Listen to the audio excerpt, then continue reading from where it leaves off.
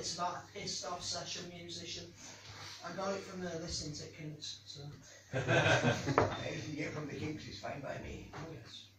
Shake me by the hand. You don't need to know my name. I want your wealth, but I'm here to aid in your fame. I should be winning Grammys and being interviewed by Total Guitar, fronting my own stadium band rather than shadowing next week's pop star. I read between the lines of the sheet music of the one glance proof that to make it you need a gimmick and a big budget video shoot.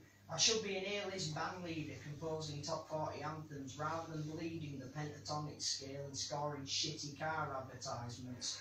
Lost behind the double glazed scene, a short-term bassist career, I insist on a double track just for a bit of extra pay. I've worked with the best and reached number one with the worst. A life perpetually lived on call, just another high grown. Yeah.